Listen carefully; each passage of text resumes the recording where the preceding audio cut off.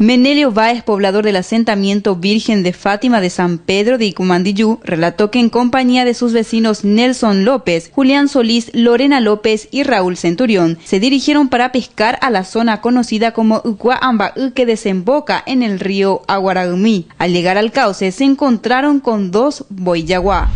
Pescaba o José socio, o entre cuatro o pegó yo o topala y lamboya. Ha por lo menos y salía y que porque hemos coigo y que ha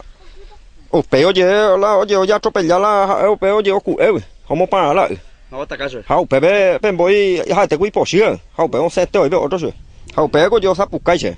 ha ye sai pa ha ha to balan voy o se ya o se te mo o ta caso ha ya atropellamos yo se hậu bè bè xem bại của nó giờ có ta giờ phí tao nó cái giờ hay tệ đó là có à giờ nè bên này thôi giờ hậu bè hậu bên này bên này mà anh nhìn mà lên chơi bè bè có đi ra khác hết rồi. Hậu mẹ ôi sáng mà ôi hậu gì ôi hậu gì vamos un poquito quá rồi tới quá hậu bè sao đấy có este suela quá bộ mét rồi có cuatro metros setenta rồi có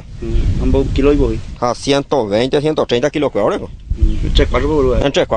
El fiscal Carlo Magno II Alvarenga investiga a los involucrados ya que se trata de una especie en vía de extinción y dispuso el traslado al Museo de Historia Natural para su estudio, disecación y posterior exhibición. Adelantó que según biólogos que observaron la fotografía se trataría de una anaconda. La técnica ambiental Andrea Ferreira aseguró que pese a su tamaño se trata de un animal inofensivo, por lo que probablemente los pescadores hayan intentado intimidarlo, lo que motivó a su reacción acción